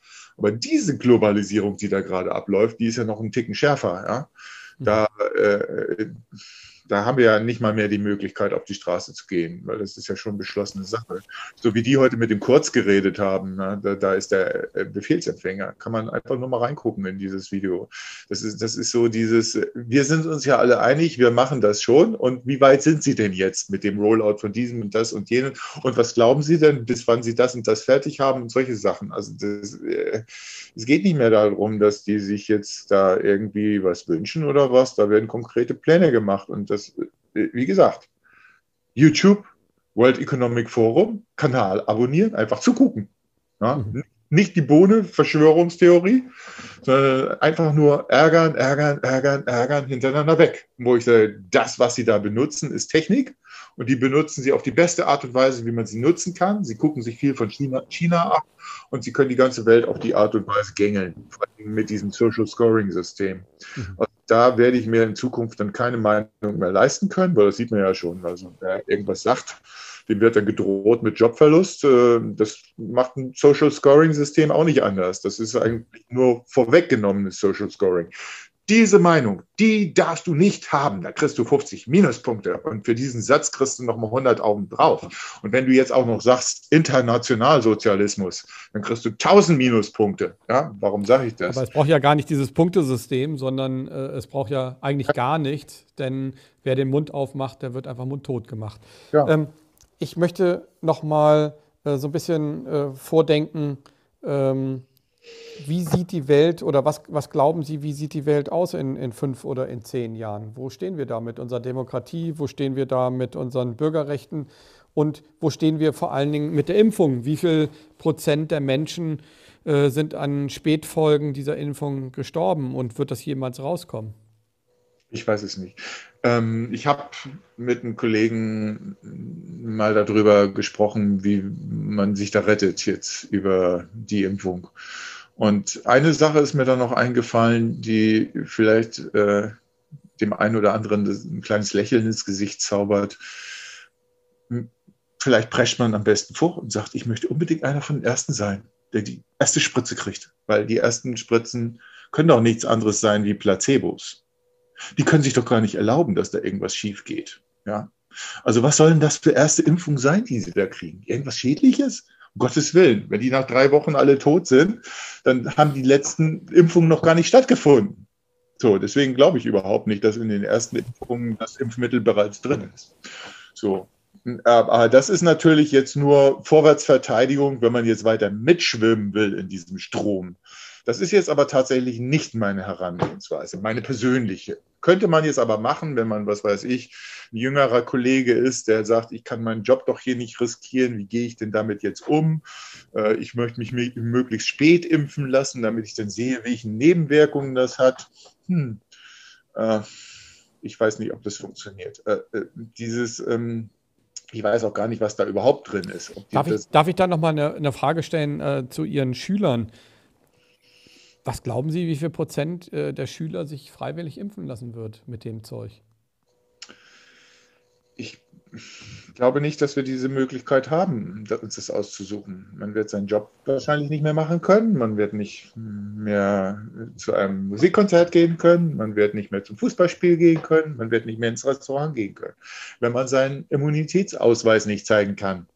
Wie sollen die einem denn glauben, dass man ein asymptomatischer Mensch ohne jegliche Krankheit ist, wenn man diesen Ausweis nicht hat?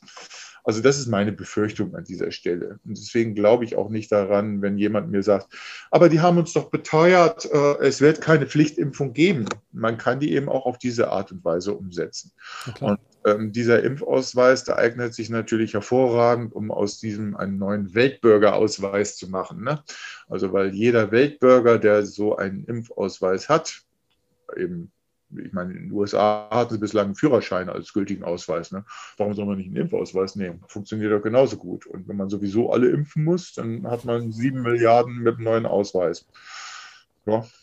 Also, was, was glauben Sie, wodurch wird das World Economic äh, Forum gesteuert. Das ist ja eigentlich ein privater ähm, Roundtable, kann man sagen, äh, oder ein Think Tank, äh, wo, wo bestimmte Eliten hinkommen, Politiker hinkommen. Aber glauben Sie, dass das wirklich äh, die, die Steuerzentrale dieses Forums ist? Also ist der Schwab wirklich derjenige, der ähm, das Zündlein an der, Wabe, äh, Vase, äh, an, an der Waage ist? Also mir kommt der immer so ein bisschen vor wie in einem schlechten James Bond-Film äh, der Bösewicht. Ja, also im Moment habe ich keine andere Erklärung dafür. Ähm, das, was ich eben sehe, ist, dass viel über Loyalitäten läuft. Dass man äh, sozusagen, das, was man jetzt auch versucht in den Schulen teilweise von Fridays for Future umzusetzen, man kommt einfach mit einem Manifest, zu dem man sich bekennen muss und wo man dann sagt, ja, agreed, das sind gute Ziele, da mache ich mit, das ist wunderbar. Das funktioniert da oben auch nicht anders. Da kommt also jemand mit einem Manifest, wir bauen die bessere Welt, die Agenda 2030 und wollt ihr da nicht mitmachen? Und da schreien natürlich alle, wow, ja, und wir machen jetzt äh, alles grün. Und äh, wenn sich das im Nachhinein als Greenwashing herausstellt, weil irgendwelche Leute gemogelt haben und einfach nur ich ihre Gründe gesichert haben. Hm. Ich sehe das ein bisschen anders. Also ich sehe das ganz einfach, wir leben in einer Demokratie. Das sollte man diesen Leuten einfach ganz klar aufzeigen. Und auch wenn wir in Probleme kommen, ob es wirtschaftliche sind, ob es weltökologische sind oder gesundheitliche, ist es trotzdem eine Demokratie. Und in der Demokratie hat jeder ein Wort und jeder ein Stimmrecht und jeder eine Meinungsfreiheit. Und von daher ist für mich diese Diskussion gar nicht da. Ähm, kommen wir vielleicht einfach äh, zum Schluss noch mal so ein bisschen äh, zu Ihren Zielen. Ähm, was haben Sie jetzt vor? Ähm, was habe ich vor? Äh, das ist jetzt sehr davon abhängig, wie jetzt die Schulverwaltung reagiert ob die tatsächlich äh, wirklich glauben, dass ich irgendwas ausgefressen hätte mhm. oder ob sie jetzt äh, sich das Ding mal so angucken, wie sich das gehört und dabei dann feststellen, oh, diese Berichterstattung, die war komplett unseriös. Die ganze Verfahrensweise war komplett unseriös. Und die haben ja durchaus die Möglichkeit, sich bei mir zu entschuldigen. Die haben ja durchaus die Möglichkeit, eine Gegendarstellung rauszuhauen in die Öffentlichkeit. Ob sie das wollen, ist eine ganz andere Sache. Ja? Aber ist das nicht naiv zu denken? Also ich, ähm, wenn ich jetzt mal dieses Gespräch, was wir jetzt gerade geführt haben, ähm, und ähm, einfach die Letz-, das letzte Jahr einfach refl äh, ja, reflektiere, dann haben wir über Dinge gesprochen, die in dieser ähm, Gesellschaft nicht mehr möglich sind. Wir reden ja über Dinge, ähm, ja. Äh, das ist, sorry, dass ich Ihnen da jetzt so ehrlich auch, auch das Feedback gebe, aber die äh, ja eigentlich zur Konsequenz haben, und äh, das hat ja jeden getroffen, ob das jetzt Musiker sind, ob das Künstler sind, ob das auch Anwälte. Äh, jeder, der in dieser Art und Weise sich öffentlich geäußert hat, hat über einen Latz bekommen. Ähm, das nehme ich ja in Kauf. Also sonst hätte ich okay. das ja nicht gemacht. Das heißt, also mhm. ich habe schon ein gerades Kreuz und ich sage, auch wenn ich mal Enkel habe, dann kann ich denen immer sagen, mit mir dürft ihr reden. Ich habe nichts verbrochen. Ich habe immer alles gesagt, was ich wusste. Ich wollte die Debatte. Ich wollte darüber reden. Ich wollte die Demokratie schützen vor die, ihren, diesen seltsamen Angriffen. Ja, und äh, natürlich äh, hat der Mensch Hoffnung. Ne? Also das zur Naivität. Nee, also ich bin Anhänger von Murphy. Okay. Murphy sagt ja immer, was schief gehen kann, das geht auch schief. Ja? So. Und dann, äh, äh, ja, aber warum sagt er das? Das sagt er dem Techniker, damit er jetzt alle Register zieht, damit möglichst nichts schief geht. Und das hat mhm. sich in der Vergangenheit doch oft äh, gezeigt, dass das funktioniert, dieses Prinzip. Wenn ich jetzt den Finger in die Wunde lege und sage, da, ja, da ist die Wunde, ja, die müssen wir jetzt schützen, die müssen wir jetzt äh, mal anders behandeln, da müssen wir jetzt ran dann gibt es auch immer die Hoffnung, dass ich jetzt hier so als Virus die anderen infiziere und dann die dann langsam auch in die Pötte kommen und sagen, ich will jetzt aber eine Antwort darauf haben, wer da im Krankenhaus liegt und wie alt sie sind und äh, woran die wirklich leiden und ob die nicht einen Gehirntumor haben, an dem sie gestorben sind und dann einen positiven PCR-Test obendrauf hatten. Also diese Art und Weise dieser Statistik ist ja kriminell, genau genommen. Ne? Mhm. Also ich habe, unwissenschaftlich habe ich vor einem halben Jahr gesagt dazu. Aber jetzt inzwischen müssen wir dann anders rangehen, weil äh, wir haben schon viel informiert in der Öffentlichkeit. Wir haben den Leuten gesagt, was die da tun. Und wenn die das jetzt immer noch nicht hören wollen, nochmal wieder zurück zu dem Ding, ob die sich da schuldig machen. Selbstverständlich machen die sich schuldig. Und das kann ich denen Definitiv. Also jeder, der jetzt schweigt und der auch noch schweigt, wenn diese Impfung da ist, ähm, die, die Impfung, die schlimmste Konsequenzen haben kann, schlimmste äh, tödliche Folgen, denn sie ist äh, nur ein halbes Jahr getestet und nicht mindestens sieben Jahre oder äh, wie fast, also es gibt keine Impfung, die kürzer als sieben Jahre äh, eine Zulassung bekommen hat. Das heißt also, ähm, das muss denen klar sein. Ähm, vor allen Dingen muss es denen klar sein, dass Menschen gezwungen werden, dass sie ihren Körper, also wir haben ein Recht auf Unversehrtheit, äh, das steht so in, im Grundgesetz, aber im Grundgesetz stand auch leider drin, oder stand auch drin, glücklicherweise, aber leider wurde dagegen missbraucht, äh, dass wir ein Briefgeheimnis haben. Das zählt für mich auch äh, für E-Mails, äh, Telefondaten etc. etc. Das heißt also, ähm, unsere Politik, vor allen Dingen die Merkel-Politik, hat natürlich versäumt, die digitale, das digitale Zeitalter in die politischen Maßnahmen und, und Entscheid, also und auch in das Grundgesetz mit einzuarbeiten. Ich danke Ihnen sehr, sehr für dieses äh, Gespräch. Ähm, ich hoffe, dass Sie natürlich ein paar wirklich spannende Ziele haben für die Zukunft. Ähm, ich denke, aus meiner Sicht kann ich nur sagen, es ist der einzige und richtige Weg, nämlich mit der gesamten Gesellschaft zu reden.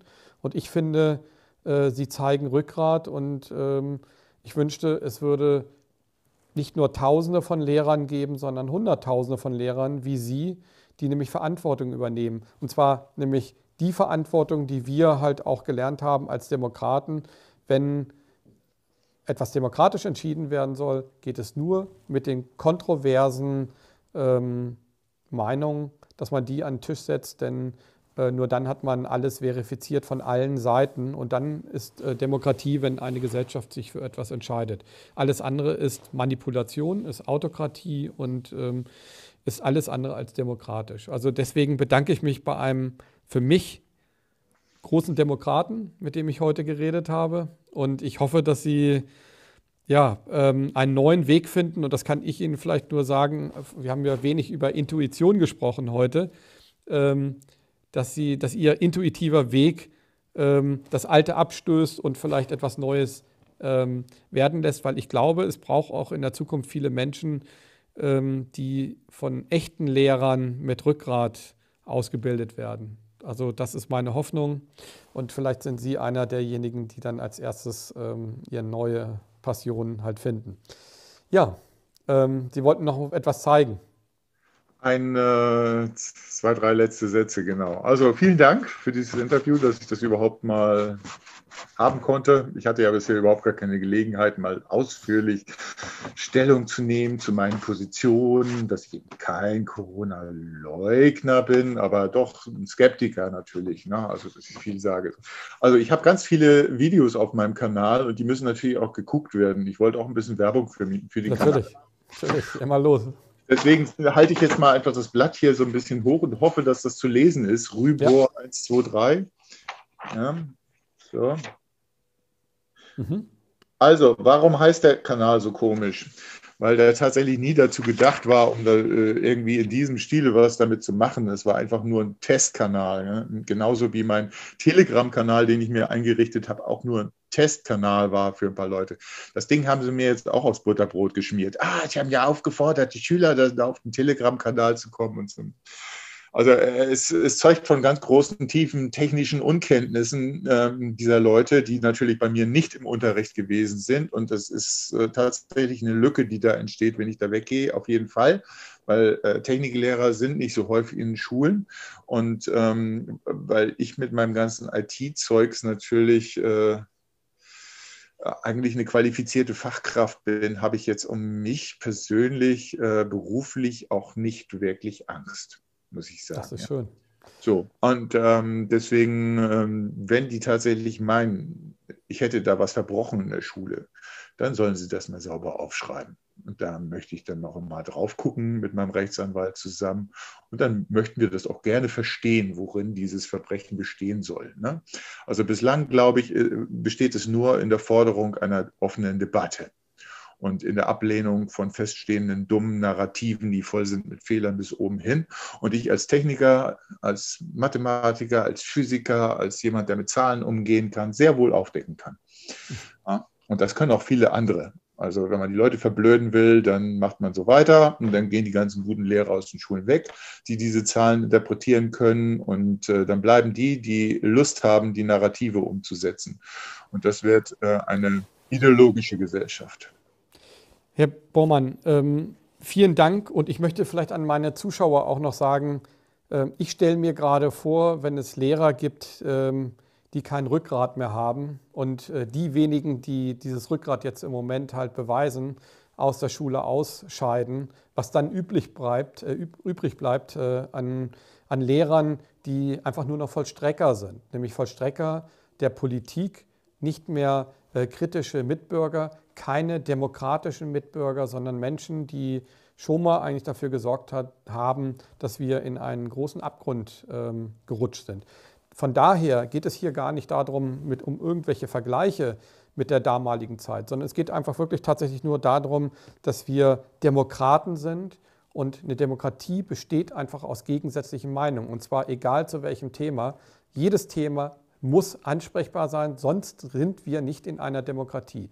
Und ähm, die freie Diskussion auf einer friedlichen, ehrlichen Art und Weise, das ist das, was wir äh, heute auch wieder gesehen haben, was wichtig ist. Und ich glaube, jeder kann und darf einer anderen Meinung zugehören und kann sich selber ein Bild machen. Aber, ähm, und das hat Herr Bormann heute auch, glaube ich, äh, äh, gut gezeigt, er muss sich aber auch denjenigen stellen, die nämlich nicht sich für blöd verkaufen lassen und die auch ein Anrecht haben, als Demokraten eine andere Meinung zu haben. Also in diesem Sinne bedanke ich mich fürs Zuschauen. Danke, Herr Bormann. Und ähm, ja, ich hoffe, dass alle Lehrer das wirklich heute äh, sehen oder viele Lehrer heute sehen, damit sie einfach sich auch der Verantwortung bewusst sein mhm. weil, äh, werden. Denn wenn hier Millionen oder Milliarden von Menschen geimpft werden, dann kann das zu hunderttausendfachen, millionenfachen Tod führen, kurzfristig, langfristig. Ja. Und ähm, diese Verantwortung, die will keiner übernehmen, wenn sie nicht im Konsens der gesamten Gesellschaft entschieden worden ist. Also in diesem Sinne, ähm, danke fürs Zuschauen und danke an Herrn Bormann. Bis zum nächsten Mal, Kai Stut. Ich bedanke mich auch.